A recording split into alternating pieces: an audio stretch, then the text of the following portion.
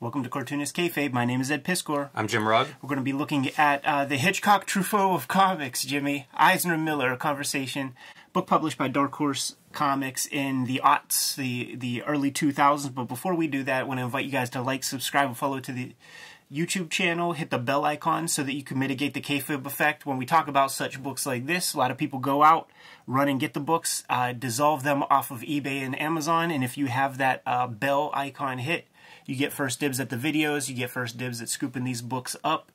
And uh, without further ado, Jimmy, why don't we just like crack this thing open? Let's do it. And uh, check this stuff out. Eisner Miller, one-on-one conversation, uh, 30 parts. And I th- figure like uh, these are two kind of important creators in the history of comics having a having a f- candid discussion in the era where people didn't take it personally. If you uh, had some disagreements while having conversations. So uh, I figured, like, uh, what if we go into like five parts an episode or something like that? Because uh, these are chock full. It's chock full of of information. Yeah, and I uh, should say recorded 2002. Yes. Um, Eisner dies in 2005, so you know, obviously near the end of his life. I love how lucid he is apparently all the way to the end. You know, like Yeah. I, I can't remember the name of his last book, but I remember picking it up and being stunned by how sharp the inking was. You know, like it doesn't seem like he loses any of his faculty at any point, and uh, and it, it makes it gives me hope Yeah. for my own future. I think I think he's even working on that on that book while uh, participating in this conversation. I do wonder how long these sets of discussions went on uh, because there's talk of being picked up at the airport and Yeah. so so so Fra- Frank packed a bag Yes. and spent a little time down there in Florida with Eisner. This is this is uh, Eisner's backyard, and I'm just taking a look. I'm looking at a really nice in-ground pool that I don't think Eisner's probably using very much, with like a fenced-in area, man, to keep those leaves out. keep the bugs out. It's, Ah. it's screened in. It's a it's a little bit. It looks more fenced there than screen, but uh, this is something I see all the time when I visit my in laws in Florida, and uh, pretty common. I think if you have a pool there, you pretty much have to have it enclosed. Yeah. Cartoonist Kayfabe is brought to you by the comic books that we make. Jim Rugg and Ed Piskor are lifelong cartoonists with a heck of a bibliography, and March is Cartoonist Kayfabe month at the comic shops. Jim Rugg is going to be presenting you Hulk Grand Design Monster at the end of March, and Ed Piskor is going to be bringing you uh, Red Room Trigger Warnings issue number one um, on March 9th high octane Incredible Hulk comics distilling down the history of the Incredible Hulk into two solid 40 page comics coming month after month. Uh, this will be coming out in April. Incre- Incredible Hulk Grand Design Madness. These are the variant covers to go along with Hulk Grand Design. Uh, the first run, the Ed Piskor, the Marcos Martin, the Peach Momoko. Got this uh, Geof Darrow cover that's going to come with the second issue. And Jim, you've yet to to print me up uh, the Ed McGuinness variant cover that's coming up with that next one. Coming soon. Red Room Trigger Warnings, Murder on the Dark Web for Fun and Profit. Uh, first issue coming out, like I said, March 9th. And these are the additional covers uh, to go along with that. The Jim Rugg, by way of Robert Crumb, Peach Momoko, and the Eddie P variant. Going to be coming out on a monthly basis, completely self-contained. And uh, Rising Tide raises all ships, and we have other books in print at the moment. The rest of Jim's bibliography that you could get on Amazon or at a good comic shop today. Plain Jane's, Street Angel, Deadliest Girl Alive, collecting all of his uh, Image Comics uh, versions of Street Angel. We have new printings of Hip Hop Family Tree that are out in the wild, the box sets and individual issues, so they are no longer $200 on eBay and Amazon any anymore. WYSIWYG, still in print. Portrait of a Serial Hacker, get your hands on that. And the grand design that started them all, X-Men Grand Design, three volumes of that that you can get easily at uh, any good comic shop or on Amazon. And there is also an omnibus that is out of print, uh, but you might be able to find it in the wild here and there. Was out at the flea market recently, saw a copy. Now that we're done paying the bills, let's get back to the video. Stagnant mosquito water. Intent is uh, the fir- the first part of this, and Miller and Eisnerman talking about what their intention is uh, with comics. Uh, this is the stuff where Eisner gets into trouble a little bit at times because he gets very highfalutin with uh, what his ideas of like his comics are and things. And you read his comics. I'm a big fan of his comics. Like I'm not a part of the peanut gallery that just dumps on him, but it's melodrama, man. And And uh, wh- what is uh, what is melodrama? But uh, real life with all the boring parts cut out. Yeah, he talks about uh, man's relationship to God, and Eisner talks about this, and uh, the idea that he and Miller are talking to two different audiences. Yes. he describes Miller as being much more sort of contemporary in his storytelling, and Eisner much more sort of reflecting on the past in his storytelling. Um, something that uh, he's conscious people criticize him for, including calling out editor Diana Schutz, who beats him in the head because uh, says I ought to stop telling those stories and expose myself, you know, do more contemporary stuff. And Miller talks about he likes that pop culture part that comics are part of the uh, contemporary culture, and uh, compares it to music and things like that in terms of being contemporary and something that people can talk about. The back and forth at this part though it, it does it does make me think about like the stuff that you would hear from comedians when they were uh, in conversations with like bill cosby at the time where if like you said one swear word or something like he would dump on you Yeah. and cause you all kinds of trouble. Like you see eddie murphy had that and clearly hannibal buress uh, had those conversations with the dude. Uh, everybody would talk about that. And eisner is completely kind of sunning uh, Frank Miller, and it's just like, oh, well, you know, you're you're your comics are like I'm concerned with man's relationship to God, and and you're interested in like I got to kill this guy because, and even Frank Miller defends himself. Like I think that that's a that's a mischaracterization, an unfair mischaracterization. Like there's way more to my comics, blah blah blah. I don't want to I don't want to pontificate and say that. Uh, you know, there's some super deep meaning, but there's more to it than just killing. Yeah, it does feel like they stake their ground. Uh, Eisner, as you say, being melodrama. Uh, Miller brings up romance, and we've done some Miller interviews in the past, and uh, that was something that he hit on back, you know, in the mid '80s, around Dark Knight Returns time, and he's hitting it again here. The other thing that is mentioned in this is uh, a Family Matter, the Sin City Yeah. original graphic novel, and it's going to be discussed more as we go along. It must have been done recently, you know, around the, before the time of this interview, but it's interesting to me because as Miller gets into that and the experience of making that, it's an original graphic novel and there's some thrill involved. You know, like he makes the whole thing before he shows it to anybody, for example, and that that's very exciting to him. I was trying to think of his catalog. I think that's the only time he's done an, an original graphic novel. I do think that things were kind of parsed out to his discretion, though. So, like, I do, yeah. There's that. There's there's Holy Terror, that that Oh came yeah, out yeah. as I guess that that's right. That an, would an, an original piece, but um, he started to become less and less precious about thinking about page count. So, like, I think it's the final issue of Sin City, like the first one with Marv, where there it's not an anthology. That issue of Dark Yeah. Horse Presents is not an anthology comic. You know, it's it's oversized because he just took as many pages as he needed to put the comic together, and that's a little bit of what he's saying about a family matter. Here is just like it's also the first time he didn't think about conscious like like a page count. He let the thing breathe as he wanted to, and that actually like dovetails perfectly into the format part of the discussion. By the way, it dovetails into today. Absolutely, Um, you know, like like this is a conversation I'm interested in having with a lot of the guests that we come on that are making comics and talking to them about what they see in terms of that format stuff. It's still a conversation that's happening. So kind of cool that you know 2002 it's on Miller's mind, but here we are 20 years later and it's like it's still topical. Like like we're going to talk about this more today with people. So you know, it's it's definitely um an interesting concept and i think it applies to other things too like web comics you know it's not just graphic novels and you can have unlimited pages or at least more than 22 it's it's a lot of the way comics are built today I mean, we're sitting here in a room like like the things he's talking about, the things that he's wishing for have come to fruition. Uh, he's he simply is like let let these books mi- mirror like the the subject matter. Like let let these books breathe and, and be what they want to be.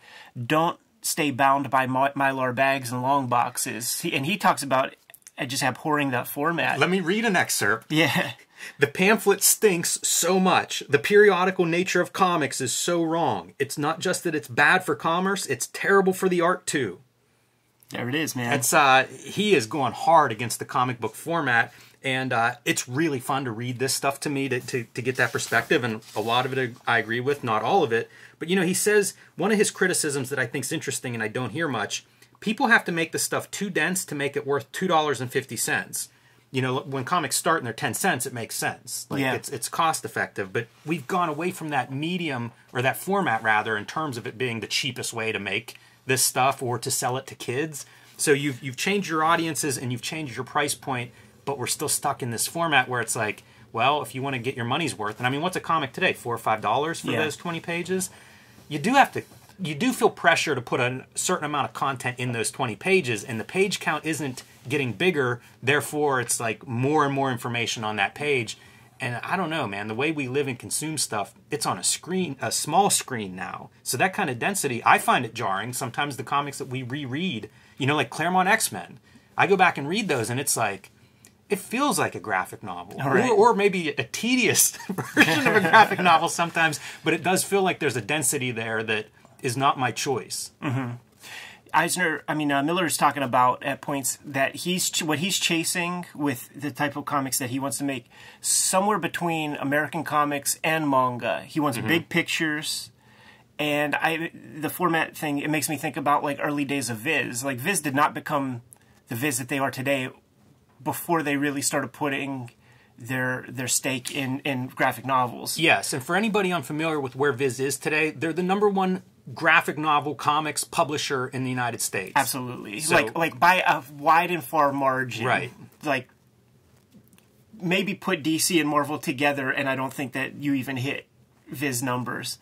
Uh, but in those 90s when they were trying to mimic the American format rather than just sticking with what worked over there in the land of the rising sun, a $3 issue of Lum can be read in five minutes and we are just not used to that. Like there's there's that whole thing like this perceived value thing like you know you crack open this iphone that we're shooting this video on and there are heat sinks in there that do not need to be in there but they just make it weigh a little bit more because you're paying a thousand dollars for Yes. this phone. Psychological and that's a little bit of the stuff that they're getting into when they talk about format too both of them are in agreement that it, that arriving at the comic book format is a, just was a weird mistake because even when you fold the newspaper two times, you're still cutting three inches off the Yes. top. Like three inches at off the top are just being thrown away.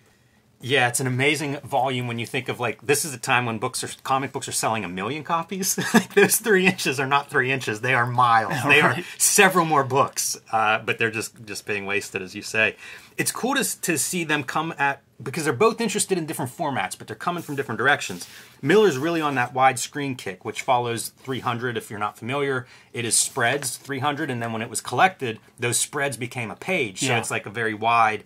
Um, almost the way you see newspaper strips often collected. Sure. So horizontally wider than it is vertical. Eisner's into like six by nine inch books, and they talk about uh, Miller's interpretation of that is Eisner's coming from a literary background, and that six by nine is a more intimate reading experience. You know, you got to look at it a little bit closer. It's small, but it's really like reading a book. Yes. And Eisner doesn't disagree, and I thought that was pretty interesting. I haven't heard that laid out uh, quite that way. You know, the idea of like what is a six by nine inch book in terms of a relationship to a reader, and it is different than a big oversized three hundred. Eisner does does have that that stink on him of of trying to be something more than what comics is or something like so he's he's chasing you know the adult reader like there's talk about like the inefficiency of the balloon and how that immediately makes people think of childish comics yada yada um, there's some cool name checking that happens in here too like when miller's at Th- this is actually very telling. Actually, he's he's at the airport. I guess maybe even on the way to to Florida,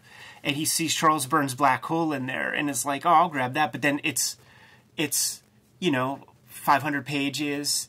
It, it doesn't fit in your laptop bag or whatever. It's unwieldy for for that kind of experience. So now, like page density comes into the conversation at least a little bit because it's about scale and page count. You know, like I'm reading my complete Uber Alles Stray Bullets right now, and that's a that's a heck of a tome.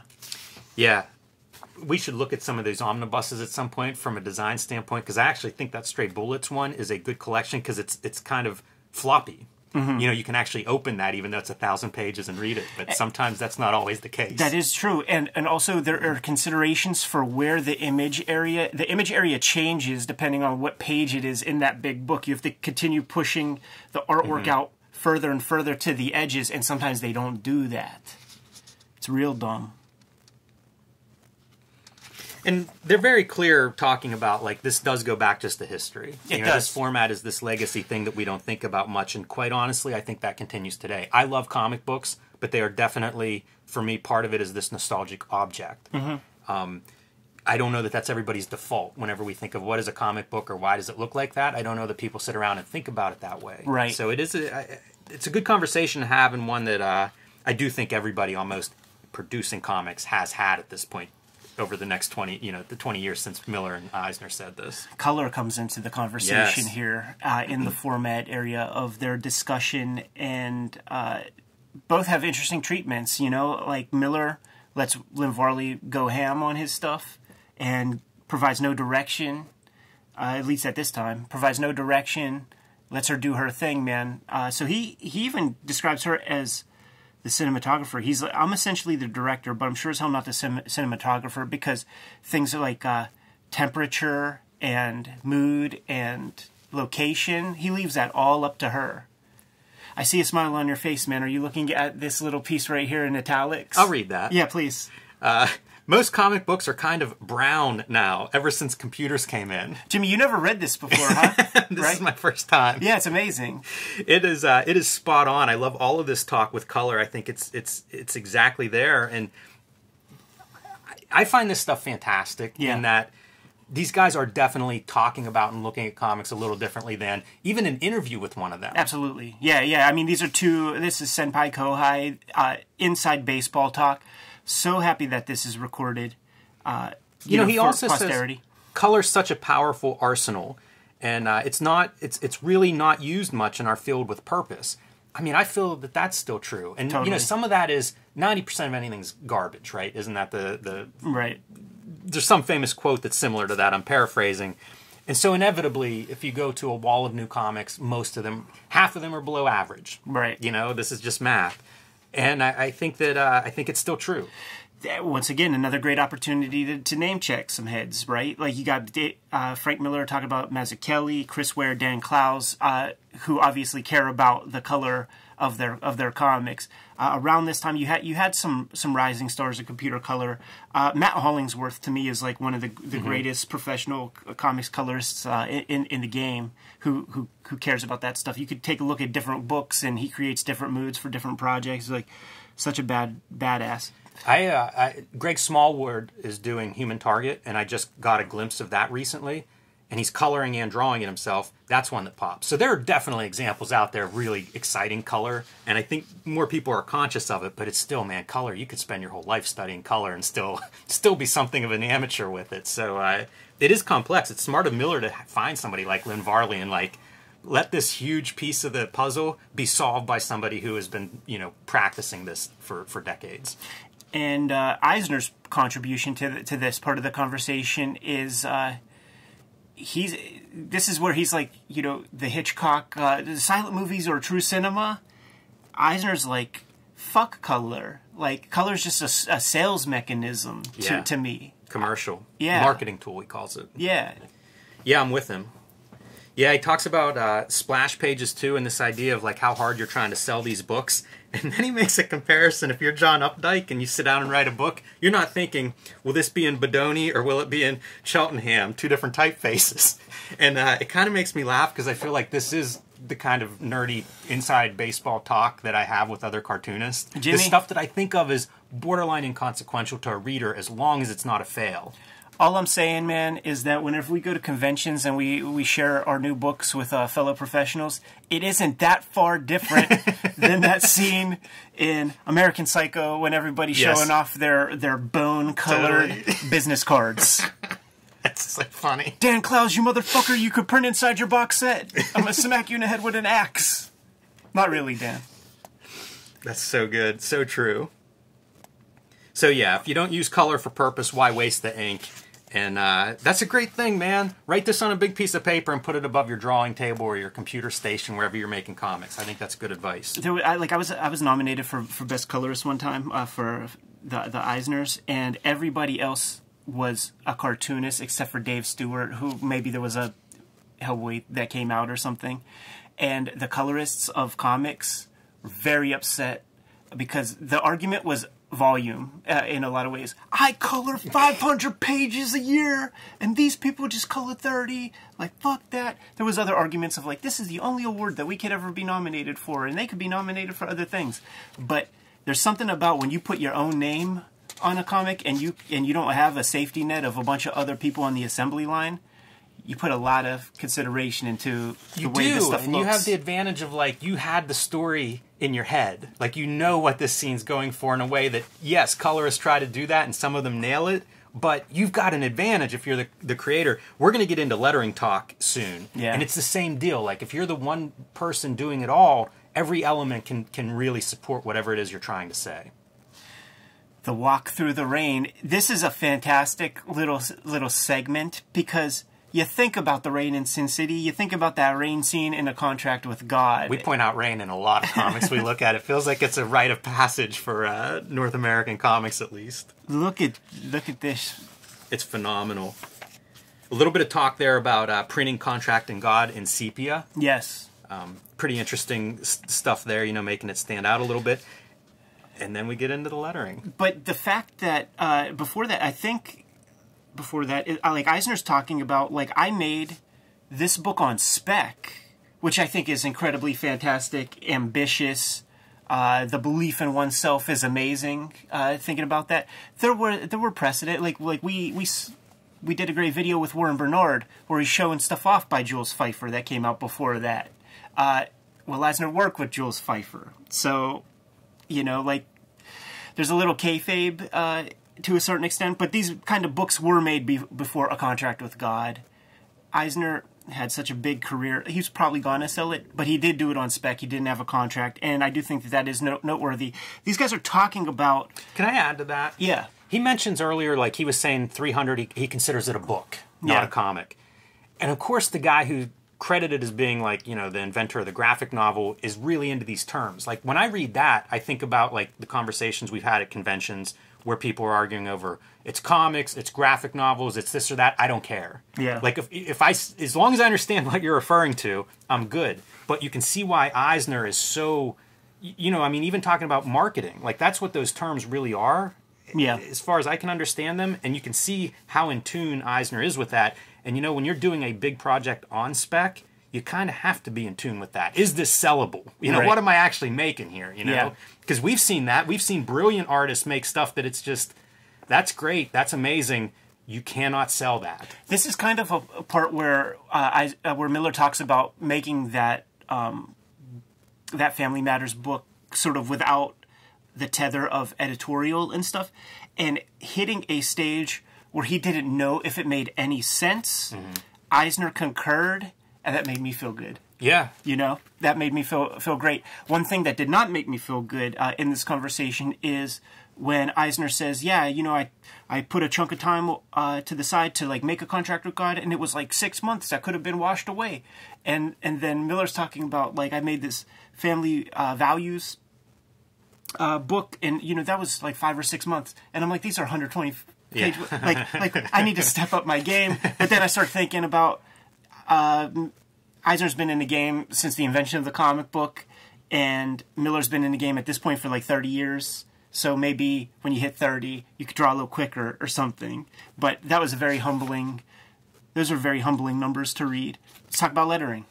Yeah, Eisner talks a lot about trying to figure out lettering for a new medium or, or for a new format that he's targeting like older readers and how do you do that because they're talking about like the big letters on that on that opening page in the rain and uh, it just goes to show like these elements need to be considered Yeah. that that would be my biggest takeaway from it and we're going to see some examples of different approaches to lettering throughout here but it's just it's vital Yes. Talks about typesetting, you know, and and uh, it could be the same arguments that we have with with frankly computer computer lettering. Uh, is it divorced from the page? Like, is it creating something like a disparity between the artwork and and and the text? And are there approaches that you could do to to like get that to work? Uh, Eisner Eisner did do some of that. You know, we'll see a couple pages here and there. Dude, look at this badass shit, dude, where it's hand lettering in perspective. yes and behind behind that going behind that sign Right. So you still got to be able to read what the words are. That's really good stuff. You know what's fun is like uh, I talk about lettering a lot, love lettering. You see these kind of like headlines, you know, on scraps of paper. I think about Watchmen. Mm-hmm. There's so much incidental lettering in that comic where it's like a headline on a newspaper on a desk or They- a sign. You know, whenever they're going into like Doctor Manhattan's uh, military facility or something like that. Uh, it's really kind of cool to think like this stuff does go back. Yeah. There's a long tradition of that. Yeah, Eisner absolutely is mentioned as being an influence. And when you have situations like these are de facto captions.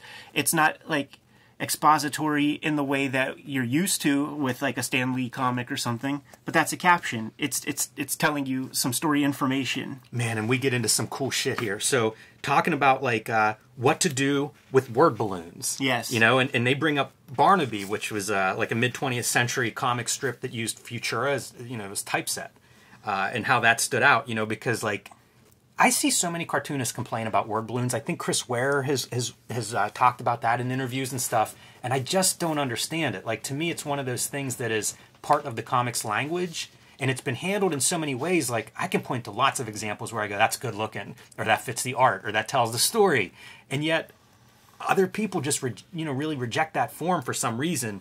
And it could be if you're into the history of comics, like you see the struggles of figuring out word integration in those early early comics. But to me, I feel like it's not a problem. But Eisner is expressing it's a problem, and how do you manage that? Uh, talks about how Foster. He was wrong. Hal Foster was wrong. Yeah, that's Frank Miller saying that. But Eisner's like Hal Foster was Hal Foster. Yeah.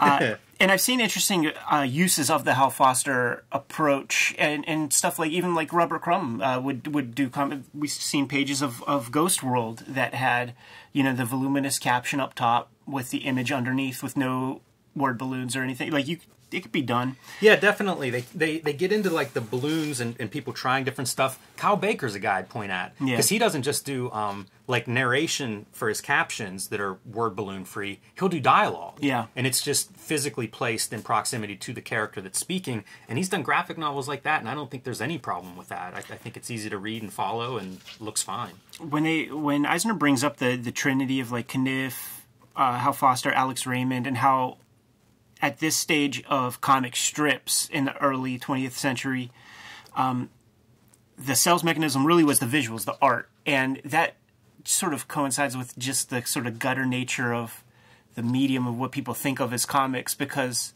the superficiality of the visuals was most important for so long. There would be outliers like like Herriman and things like that, but like the visuals were were were almost everything. Little Al Capp talk. Little yeah, out, outcap. They talk about how like all his characters are yelling. Yeah. very big lettering. that's that's pretty fun, and you can see the example here on screen. Um, talk about Harvey Kurtzman and how you know like EC was mechanical typeset style lettering. Well, not typeset, but mechanical, and how he got away from it. He did he did, but then he went to type he went to Yes, he typesetting with back. with Humbug Right. and Help and uh, you know like other comics in the future. Kind of neat to think about Kurtzman, this very thoughtful cartoonist. And if you flip the page, you'll see uh, some example of his typesetting.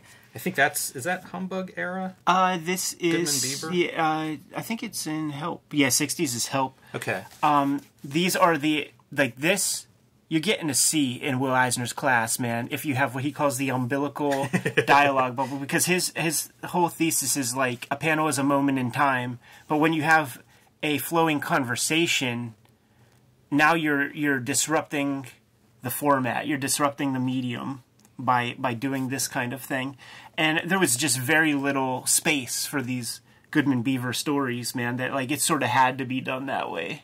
I don't mind that either. It's easy to read, and that art is so tight, it's almost mechanical. Yeah. I feel like those actually fit together fairly well visually.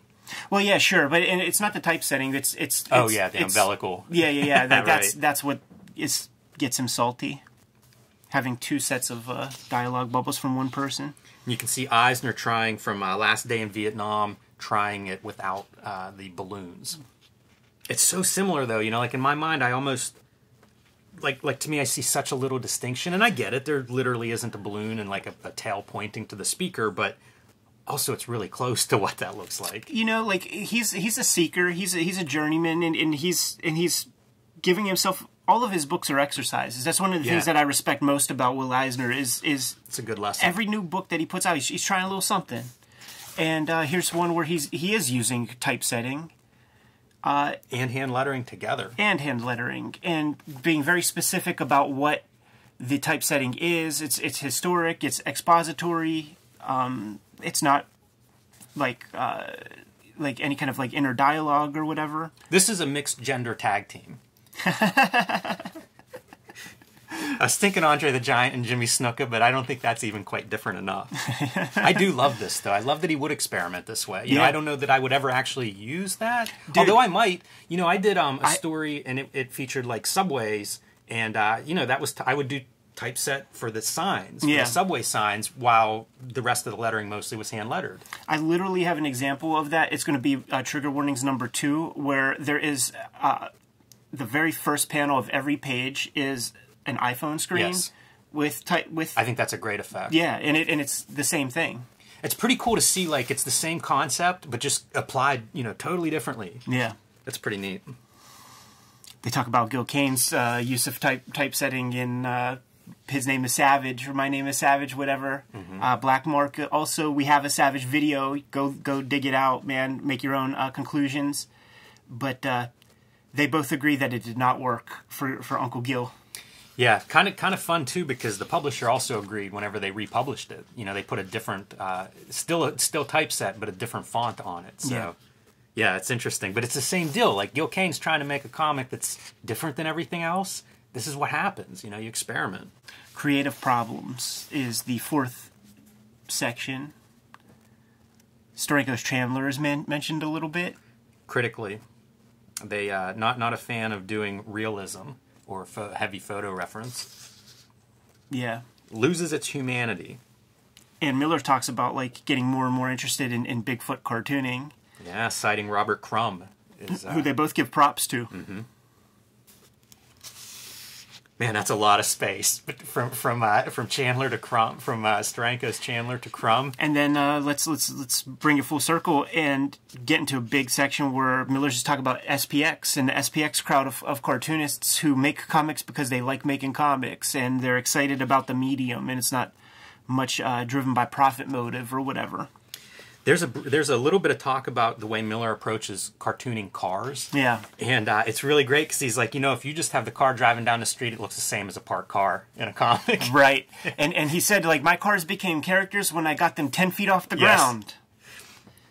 That's kind of like uh, a little bit. That goes along with what he's saying about the idea of uh, trying to be a bridge between American comics and and uh, and manga, because so much of the mechanical stuff in manga is just traced. Like look at like Ryoichi Ikegami like Sanctuary comics or whatever, and you have those like Lincoln Town cars, and it's all static. You like look at Mai the Psychic Girl, like all the vehicles and stuff, they're all static because it's just completely traced from technical manuals or whatever. But uh, Miller's a proponent of the uh, the Franklin Mint, like little diecast cars, man, and he gets that from Geof Darrow, man. Geof Darrow sort of hipped him to all that shit. Motion is an important thing uh, in comics, and it's in this two D medium to just try to imply, you know, atmosphere, seasons, and the just putting a piece of paper in the wind implies movement, motion. Uh, there's a little anecdote that Frank Miller gives about Jim Shooter telling him to stop putting floating paper in every panel. So the very next issue, Frank Miller uh, did a did a sequence that ha- took place in a ticker tape parade. Yeah, it's kind of fun to think about that atmosphere and the idea that you're trying to make sure the reader connects to what you're saying. Uh, Eisner, some of his examples are, you know, everybody knows uh, what it feels like to be cold or hot, um, knows about little annoying things like flies and, and papers that, that are blowing around us. And it's like you can use those things because they are somewhat universal. Um, and back on the lettering kick, man. And this time talking about how important the lettering is not just to communication, but to the actual stories they're telling. Yeah. And how um, Todd Klein lettered Batman The Dark Knight Strikes Again and uh, did a gorgeous job in Miller's words. And of course he did. Todd Klein. But it, it illustrated to him it was a lesson for him that like he's got to he's got to letter his own stuff. I, I, I think I, I feel like I see it in, in Dark Knight Returns, you know, like like the standard John Costanza, who is by all means extremely professional and uh, Love Costanza, man. Like those Swamp Thing, you know, I, I cite that as one of those lettering examples that I just think stands out and complements the story, the art, everything. Great it's the, letter. it's the only tether in Dark Knight Returns that makes it a regular comic book. You know, it's John Costanza, Yeah. regular comic book lettering. You know, the inking is adventurous, the, the page compositions are adventurous, the coloring obviously is. The one piece that's regular comic book, comic iconography or whatever is the John Costanza stuff. Probably the same deal with the uh, Dark Knight Strikes Again. You know, Todd Klein doing his thing, and this is coming off of you know 500 pages of Sin City comics where Frank Miller's lettering his his his own stuff. We're used to that, and he says basically I ca I have to letter everything from now on. I can remember getting hold of Sin City pretty early in my comics reading, and that stood out to me. Yeah, me the too. lettering is like this is different. I'm a big fan of, uh, and a lot like the old timers fucking hate it, man. Um, like rapidograph lettering. You know, they, they they do not like that uniform, dead kind of line. I do. Yeah, I liked it. Yeah. And I've lettered some of my books with rapidographs. with, with no fuss or muss, man. Like uh, you don't need to chisel it down and create like a Dude, they would sand the the old uh, letters would sand their nibs, so you would get that like thick horizontals and thin verticals, and it'd be like sanding it at an angle to do it. Um, you know, my knock on rapidographs is not the look; it's the uh, they're they're so fidgety. Oh yeah, yeah, yeah. the, still to this day at mom's house, man. If you go into the little room where I used to uh, draw my comics, there are like ink splotches on the wall because I threw that little bulb that you're supposed to be able to like get all this shit out of your rapidograph. I just fucking threw it in a fit of anger many times over many years because I had to buy many rapidographs. And I swear I took good care of them. They just they got gunked It's up. tough if you don't use them all the time, man. It's that that ink will, will st- get stuck up in there. It's such a tiny line that you're making. It's like it doesn't take much ink to block that. This is uh, some of the stuff about um, whenever he went from the Iger shop, Will Eisner, Yeah. into doing the Spirit, and how that was perceived by his partner as a big chance that he was taking, and you know what, what's he going to have there in a year? Um, but pointing to the idea of even whenever he did a contract with God, like you take chances. You know, it's how you advance. It's how you move forward. It's how you stay engaged. it's how it, it's how life works, man. Like you you have to make investments. Yes. And if you don't have take some risk, uh, then you're on the hamster wheel of employment forever. Yeah, new adventure. Little page from the Dreamer. this comment: American comics are so constipated.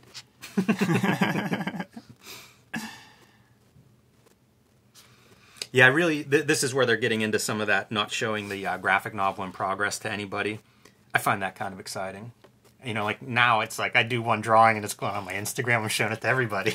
Miller talks about how uh, just just like the style, his style of drawing changed when he got that big loft space that you see in some of those like uh, YouTube uh, interview videos and stuff, where he you know he has a standing desk. He stands up and, and you see his hand like the the wrist action as Brendan McCarthy calls it like his hand is way down he's standing up and he was talking about like on maybe it was uh, the Batman comic or something how he's touching 20 pages Yes. in a day. Putting little bits on like 20 pages in a day. And he says every every surface in the studio is art space. He's taping stuff up like the walls are part of it. There's stacks everywhere. Like it's it's an art making factory. Yeah, makes me want to uh, to revisit uh, Family Values.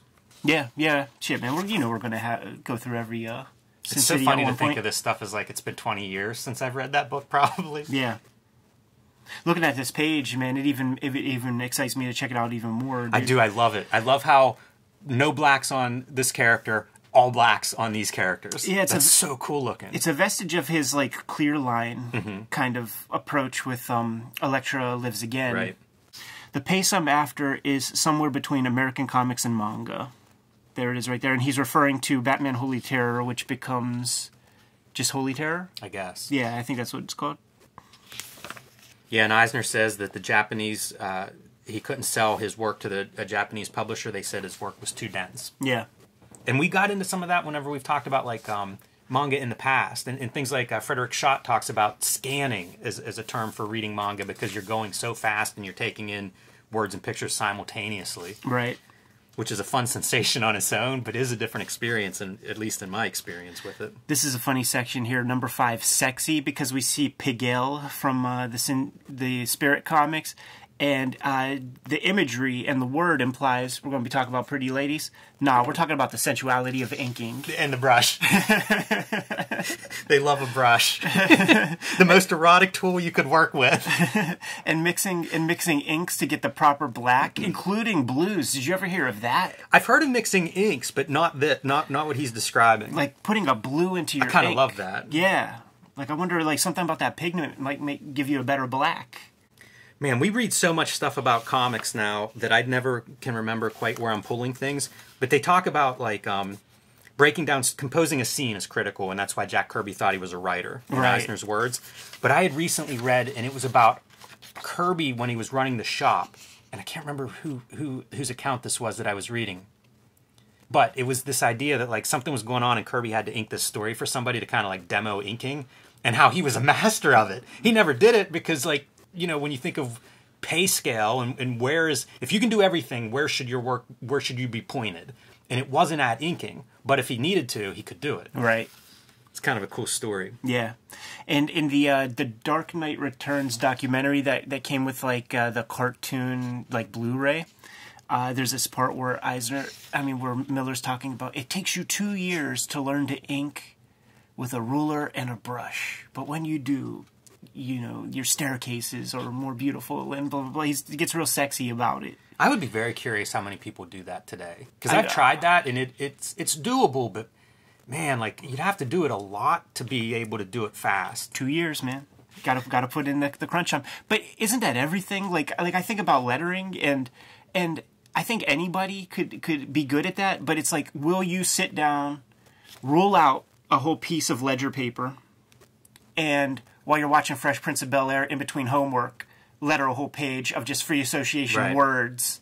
Because by the time you get to that last line, you're really close to perfect like professional hand lettering but who's going to sit there take the time to do that?